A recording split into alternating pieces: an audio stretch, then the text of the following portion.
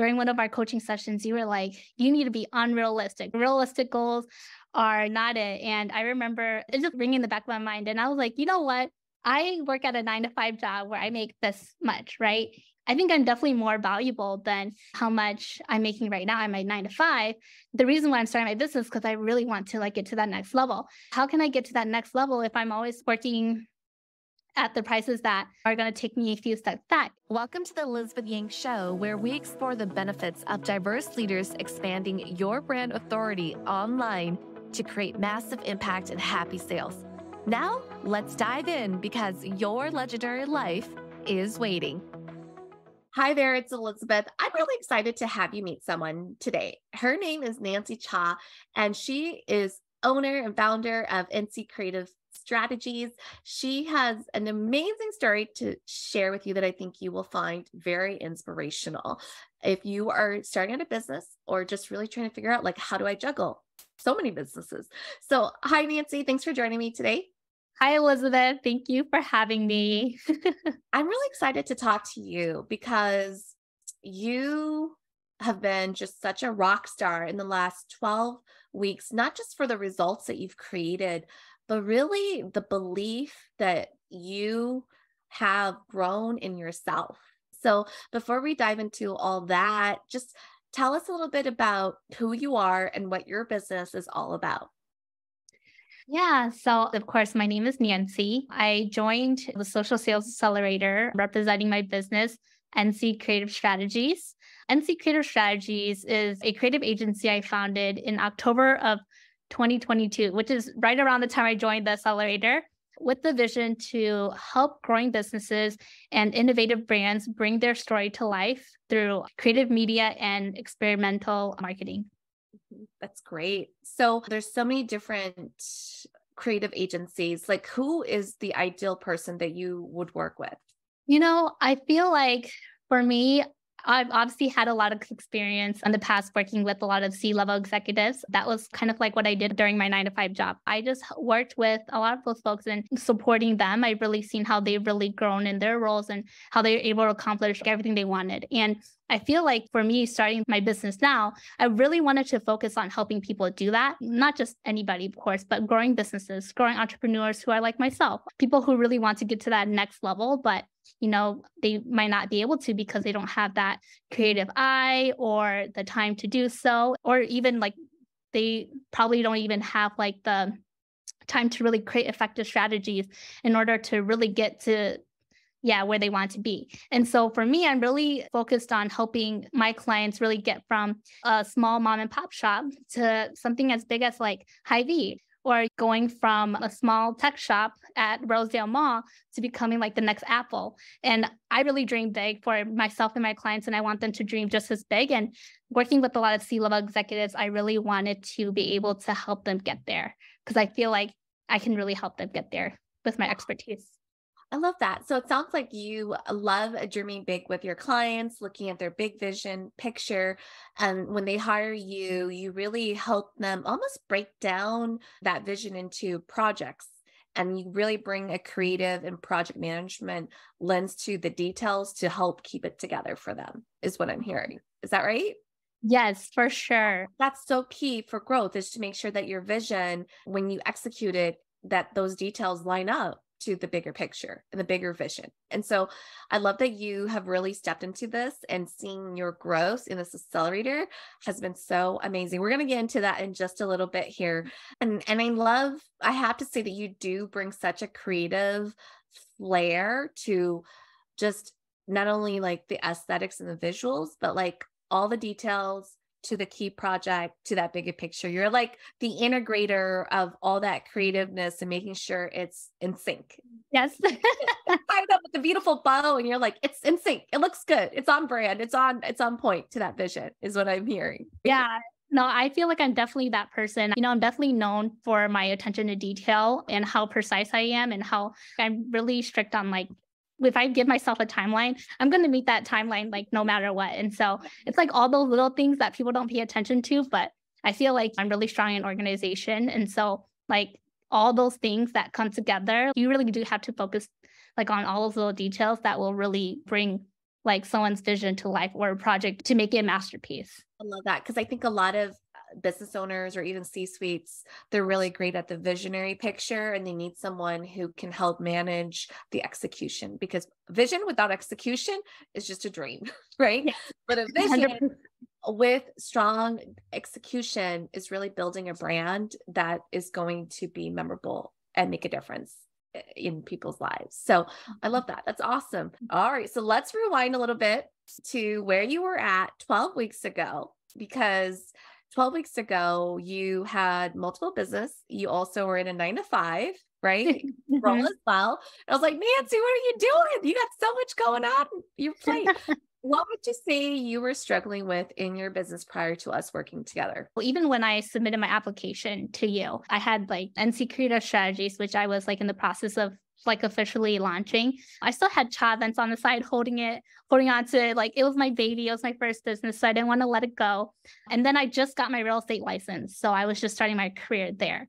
And so I think one of my biggest struggles was really figuring out like how I was gonna do this. And when I joined the accelerator, I wanted to join with my NC Creative Strategies business because I know you were like, Nancy, like this is this is where your strengths are. Like this is what you need to do.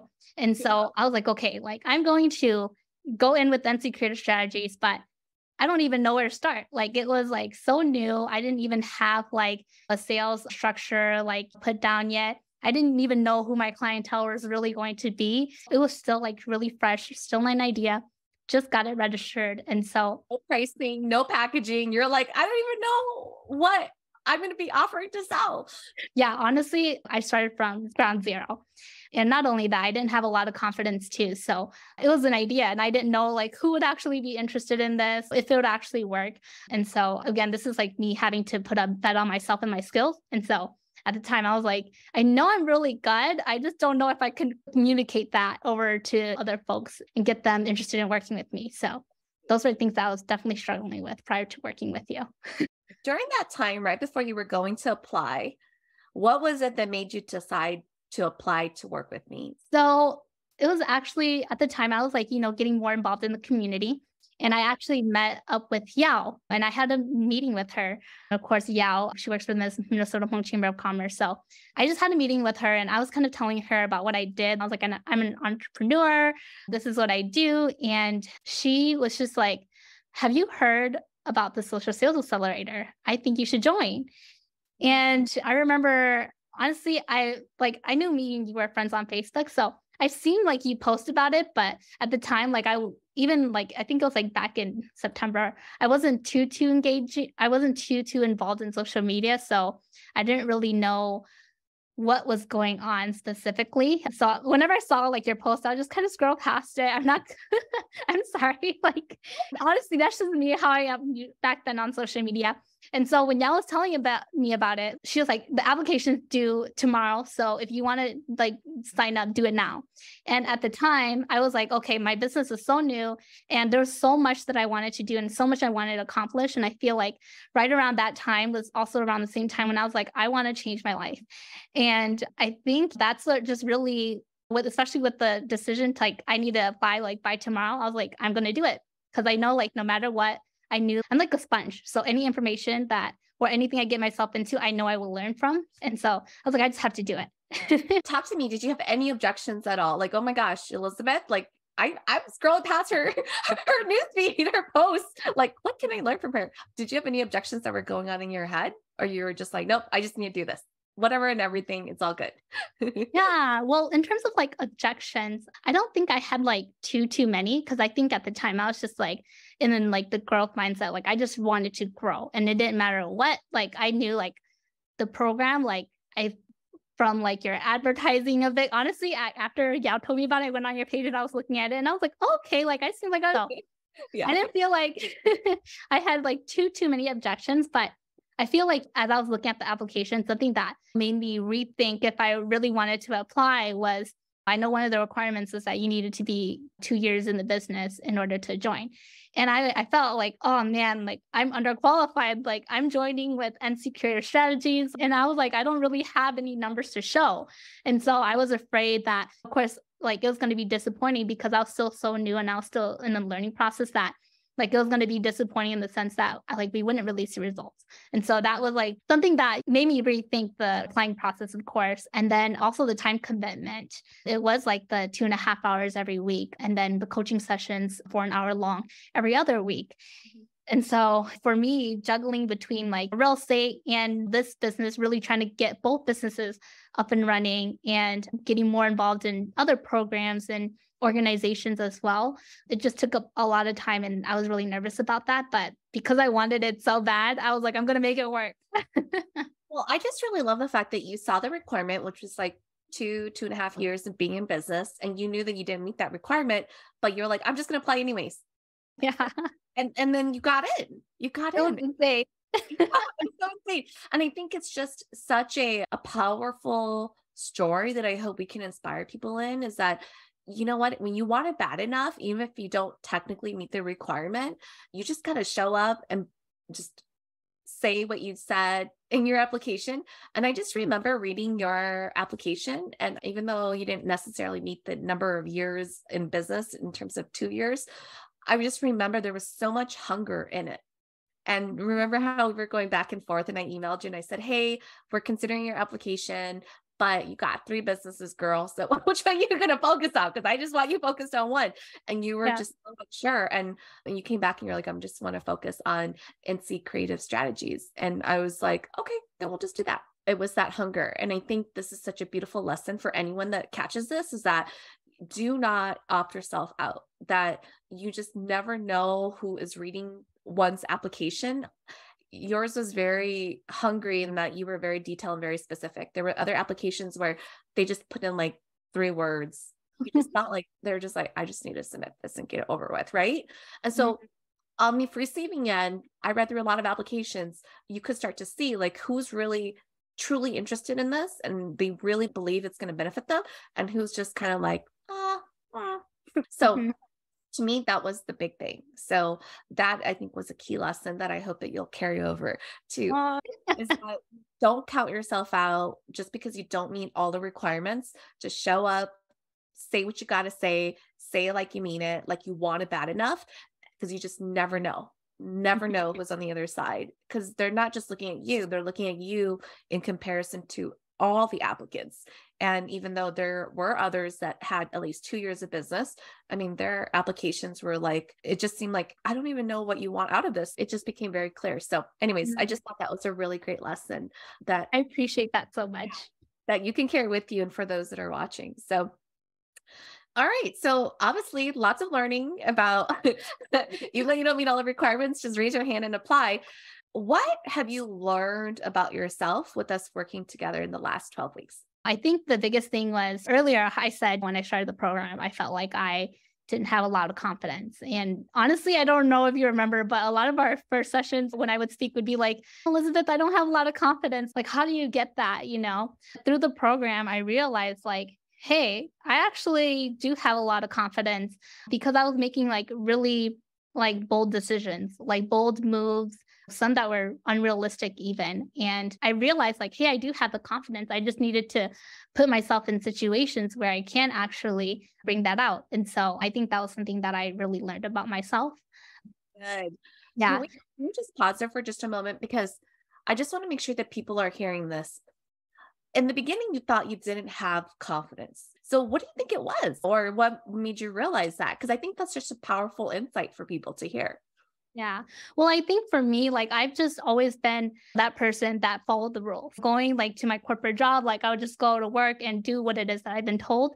All the things that I found myself doing was really mindless work and things that I didn't really like have to think too much because it just became second nature to me. And so I think with starting my business, like I've had to really had to, I really had to think. And I think what made me realize this was during one of my first pitches to my first client. I created a whole PowerPoint and I remember doing my presentation and just going through it. And I obviously was like shaking. I'm not even lying. Like I was like, oh my gosh, hope I'm relaying all the information correctly. And it came to a point where I was talking in circles and I think I confused her a little bit. And so she was asking me this question and she was like, she did challenge me a little bit. Why do you think this way? I feel like it should be like this. Yeah. And I just remembered like being like, okay, I didn't have to follow the script anymore. This is like question that I didn't prepare for. And so, because usually like, like being like wanting to go to law school, I'm like one of those folks that really do a lot of damage control. So I think of every situation that could go wrong and I prepare for it. And yeah. when my client asked me this question, I honestly wasn't prepared for it. And so I had to really be like, you know what? This is why, like, not saying that you're wrong, but this is why I think this is the better, this yeah. is why I think we should, the better path, the better solution. And I really had to tell her, like, hey, this is what it is. And this is why you should trust me. And I feel like at the time I was like, yeah, like I am the right person for this. And I had to really channel that energy, which I didn't know I had. and so, yeah, I think, and that that's what really sold her. And she was like, okay, like I could see that you are the right person for this. You do have that, and you do know what you're talking about. Yeah. So it sounds to me like you realize that you do have this confidence. You just have been such a rule follower for so long that now with this new path, it sounded like maybe you were just uncertain because you were embarking on this new path of like, you haven't done this before. It's so crazy. And we're going to talk about ridiculous goals in a little bit, but you're just like, oh my God, it's so nervous that you just weren't sure. So it sounded like you just weren't certain because you weren't really stepping outside of your comfort zone. And that made you mm-hmm. feel and believe like you just lacked confidence, but it wasn't so much lacking confidence. It was just you were uncomfortable about being so outside of your comfort zone, is what it sounds like. Yeah, I think that's exactly it. Yeah. And I think that's such a powerful lesson because people often say they think it's a lack of confidence, but it's just trusting yourself that you don't have to have everything figured out, that you don't have to prepare and have all the answers to every single possibility in question before you can show up with confidence, but rather you just have to trust in yourself and have faith in yourself that when you're put on the spot, you're going to just mm-hmm. show up. And you did. We're going to talk about results in a little bit, but what would you say you are the most proud of for yourself?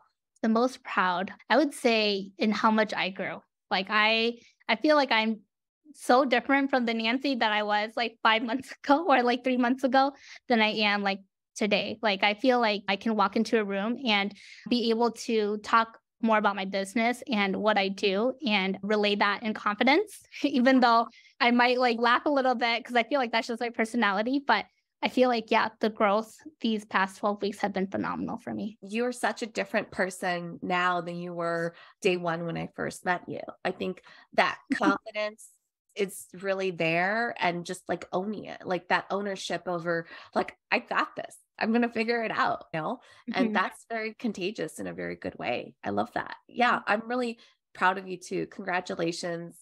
When you think about the last 12 weeks in the program, what would you have to say is your favorite part? the people, the wins, the cohort, the structure? Like, what is your favorite part about the program?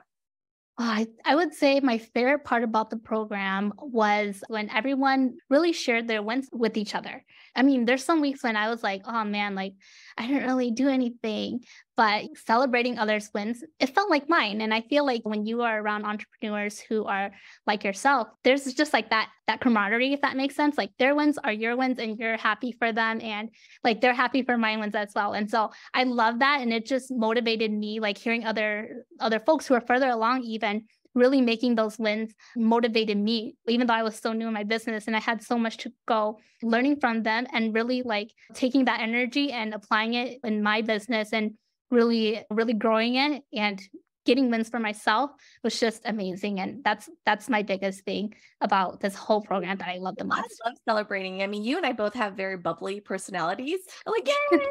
good job cheering you on. And i really love celebrating because i think to your point like you're so happy for them and there is some psychology behind that because I often said this is that when you celebrate those wins, you're training your mind that you want more of that. I want more of that, even if it's yours or even if it's theirs. And mm-hmm. it's so powerful because their wins, even though, like you said, I didn't do anything this week, but their wins motivate you because it's almost like, ah, this is possible if I just do the work. if I just find time, like it's possible for me too. So yeah. I love that. That's a really beautiful like favorite moment because I love celebrating. Any reason to celebrate makes me happy too. Mm-hmm. So let's dig into results. Oh my goodness, Nancy, you talk about like on point. Like you have had some amazing breakthroughs and results since we started working together. What results have you been able to create and what have I helped you produce in just literally the last 12 months? I mean, you literally stepped into this cohort with just a newly started business. So, what results have you generated and created for yourself? Yeah. So, I mean, I think the mm-hmm. first one was I started my business with like, I felt like really nothing. Even for myself, I didn't really feel like I had a lot of marketing experience. And so I was like, okay, like, how do I even structure this? And even with my, again, my Cha events business, even though I did have a business prior, I never used that classy framework structure that you taught us like how to how to make sales how to really structure your business like creating that ceo schedule putting time aside to actually make those sales happen to really grow your business beyond a certain point. Again my business is so fresh that it was still an idea and i really like throughout the program i was like oh man i really need to write a business plan so that i can really sell. And so that was something that i've been developing and something that i have i feel like i have a a better idea of what it is that like a better idea of how to price myself, the type of product I'm selling. And so that was something that I really made stronger throughout the 12 weeks working with you. The other thing was my social media presence. And so I know when I first started with you, I probably only had like at most four, not even 400 friends on Facebook. I wasn't really as active on Facebook and active with posting, but I know through the program you mentioned that we need to take me- messy action. Like we just got to do it. You're always waiting for things to be perfect. It's too slow. And so I knew I wanted to grow my social media presence so that I can really, again, if I'm going to be a marketer and I feel like if I don't have a great social media, like who's going to really like trust me? And especially when I felt like I didn't have too much marketing experience to give. And so that was something that I've been working on. And I grew my social media from 400 friends. I mean, I switched it over. I redid everything on my page, switched it all up. And so it has grown from what is it, the 400 friends to now 1100 followers, which I feel like is a big one for me at least, because I never really felt active on social media. And then another big win for me was again, not really knowing how to price myself, right? And I remember from one of my conversations with you, I was like, Elizabeth, do I price myself at $2,000 per project? And I remember you being like, no, $2,000 too low. You sh- should be at 5,000. But if you're nervous, start at three. and I remember going into my first meeting with my client being like, okay, like I was going to start at the 2000 mark, but I was like, you know what? Like, let's do $3,000 for this project. But then I remember during one of our coaching sessions. I mean, I closed that deal, of course. And during one of our coaching sessions, you were like, you need to be un you need to be unrealistic. Like realistic goals are not it. And I remember it just kind of like ringing the back of my mind. And I was like, you know what? Like I work at a nine to five job where I make this much, right? And like I think this is like how like the I think I'm definitely more valuable than how much I'm making right now. I'm at nine to five. Like, I feel like I should at least like the reason why I'm starting my business because I really want to like get to that next level.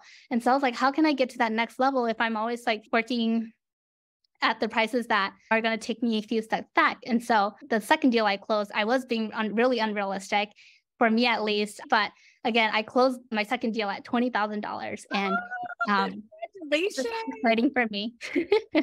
so awesome. Congratulations. I think this is such a beautiful lesson to be learned about really how you went from didn't know how to sell, don't even know what my prices and what I'm going to be selling, zero dollars to your first client being three thousand dollars when you wanted to go lower. And I was like, nope, go to five. You don't feel comfortable with five, do three. You took crazy, messy courage and action. We closed that deal. And then you took crazy, ridiculous, unrealistic goals, and you're like, oh, and you close your second at $20,000. That's huge. And congratulations for just being unrealistic and really owning that. Because as you know, I've been saying to every single one of you, and I just want to share this with those that are watching and hearing your story too, is that the reason why I don't believe in realistic goals is because why, Nancy? Why do why is it that I say don't make realistic goals? You really limit yourself to like a certain standard and I feel like that really applied for myself, which is why I was like, you know what, I can't limit myself to this. And I really just shot for, or, you know, I know this isn't the stars, but what like, like very different from what I had before. Absolutely. Because our realistic goals, like I love what you said, it limits you because it's all based on what your your comfort zone. It's your current paradigm. It's what you've always known. It's what you're so comfortable sort of wiggling into your comfort zone. And when a goal is set that feels very unrealistic, that's how you know that you're reaching outside of your comfort zone. That's how you know mm-hmm. that it feels so ridiculous and unrealistic where you're like, yeah, I'm really outside of my comfort zone. And so now I just need to rise up and step and own and step outside of my mm-hmm. comfort zone. And that's why I don't believe in setting realistic goals because what sounds realistic to you means that you're barely even on the edge of like breaking out of your little your comfort zone shell and you really need to do that because then that's the only way you're going to do that and I am just super duper proud of you for that Nancy because you just showed that when you are unrealistic, you raised the standard for yourself and you grew into that. And if you mm-hmm. had been realistic, this is I share this, but realistic people would have been like, I'm gonna start at 2000 for my first client. And then my second client, maybe 3000. And then my third client, maybe 5000. And it would have taken you maybe six months to even get to $5,000. And it may have taken you even a year to get to $20,000, right? And mm-hmm. just imagine that you just did this literally in what, like nearly like two and a half months. Like, yeah. I just want people to see why it's so important for us to set quote unrealistic goals because you grow into them. You grow mm-hmm. And I'm super duper proud of you for taking on that challenge. And just congratulations, Nancy, for that. It's huge. Thank you so much. That means so much to me, seriously. Yeah. and the last thing I'll say about that too is that our income potential is not logically incremental. And yours, the perfect example of when they say that your success is 100% your mindset, of that because a realistic person would have set income goal 2000 3000 5000 oh i need to be realistic next month next month i'll do 5000 next year i'll do 20000 and you just totally quantum leap that like went from don't know how to sell zero to your mm-hmm. first 3000 i'm not kidding you like that's huge because some clients in business can't even get to 3000 and it's been three four years let alone 20,000. And you just leapfrogged in two and a half months, 20K because you were being unrealistic and just this is why the power of being unrealistic and knowing that goals are not what you get, but goals are what you grow into. As long as you allow yourself to really do the deep work to rise up to that, to grow into that goal, is that your income potential is limitless as long as you continue to just pour into yourself and say, how can I grow into that? 20K, 30K, 50K, right? Our income potential makes no incremental sense. It just, there's no rationale. As employees, we're so used to our performance raises happening once a year, anywhere from one to 3% increase. And we're so used to that training that we think as an entrepreneur that we have to do that. And we don't. Your income growth has no logic to it.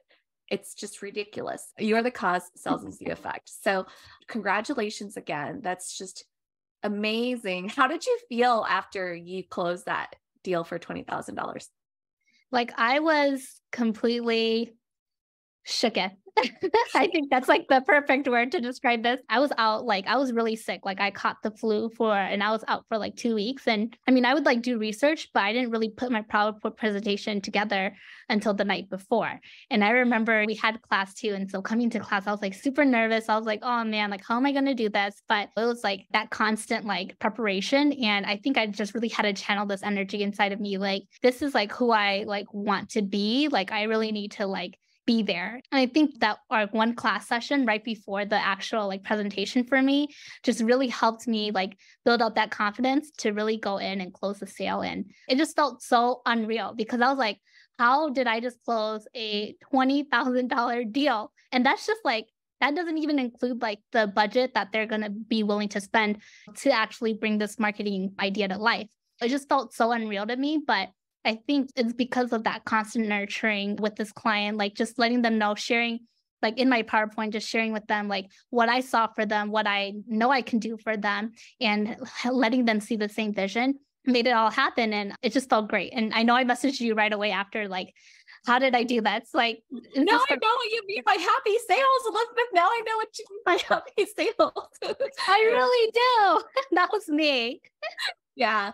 Because it's not that the money is there, but it's like who did you finally become to close that type of deal? Mm-hmm. And that's the being that is really the happy part. It's not just happy because you got money in the bank, but it's really like, who did I have to become in order to be confident or be that way in order to close that level of a deal? It just blew me away. I was like, Nancy, do you know how long it took me to close 20K? and so congratulations to you. You should be super proud of yourself for being that. And I and I love what you said. It was being unreal. It felt unreal because you aren't yet there. But now that you've done it, you do it once, you can do it again. And I say that to you too, right? It was like, don't believe for a moment that it was a fluke, it was luck. You did it once, you could do it again. We always have that fear or self talk that comes in is like, oh my God, was I just lucky? And they're like, no. Like you hear that noise, shut that voice down, be like, nope, nope, preparation met opportunity. I rose up. I am. I am her. I am the woman, the CEO boss that's closing $20,000 deals. That's me now. It's not a fluke. It's not by accident. It's not by luck, right? Yeah, seriously. And I could have done it though if I didn't have you in my corner. Like I already know that. and you also, what? With your nine to five.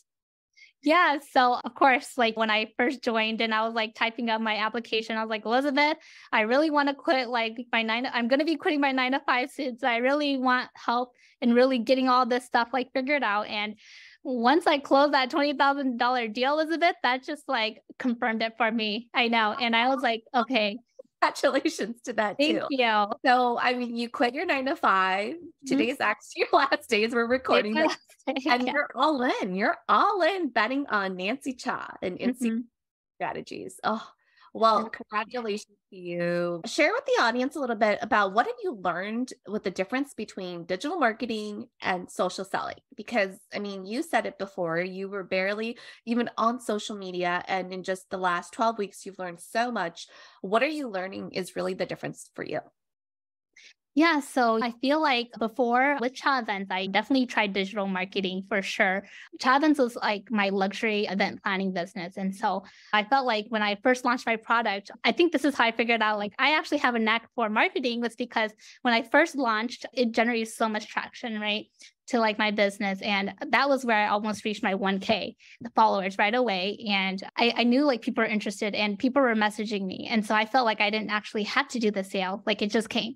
And at the time I was doing some digital marketing for like two months just to kind of see like, okay, like how effective is digital marketing? And I did that. And I mean, like there was people that was messaging me, but deals would just fall through just because of course like they would hear my prices and they would be like, oh, okay, like I think that's a little bit too much for me. And they would just let it go. And I think something I've learned about sales through you is that nurturing through the classy sales structure. Part of it is like the nurturing process, and then, you know, all the way to like the closing of the sale. And I think that was something that I had to really develop here throughout the 12 weeks was how to actually do a sale and do it properly and how like to really nurture those relationships so that they like are willing, they do like they can see your potential as much as you do and how you can really get them there. And I think because I was so familiar with people coming to me, like in my Cha Events business, that I never really set aside time on my calendar to actually do the sale. But then as a part of NC Creative Strategies, like I didn't really build a platform. I just kind of launched it because I was like, oh, I just need to get my business out there. I didn't really have a social media plan, a really big launch like how I did with my other business. So then I knew I needed to get the clients in. I knew I needed to actually schedule time in my calendars to actually do the sales, to actually nurture those relationships, to get the deals. And I think that's played a major role in me making that $20,000 deal. That's huge. And for those clients that you did close with your new business, did they say you're too expensive? They didn't. No. Isn't that crazy? People always say to me, they're like, Elizabeth, I've been hearing too much of like, you're too expensive, you're too expensive.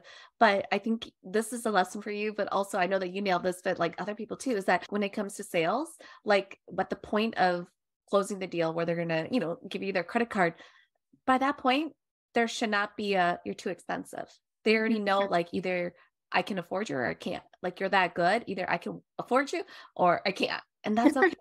so yeah yeah and that i think that's such an important lesson for for you to share your own journey of knowing the difference between just marketing and posting on social versus social selling and actually having a structure time set aside and like learning a structure to close a deal how to nurture because that's exactly it and i know that i teach this and i know that i say this often but when it comes to pricing objections your marketing does 80% of the work and 20% is just really closing. And too many people wait until the last minute of the transaction to really overcome that pricing objection. And you're the prime example of, hey, like 20K, they didn't even blink an eye. I remember I asked, I said, how quickly did they say yes? Because if they said it too quickly, we could have gone a little bit higher.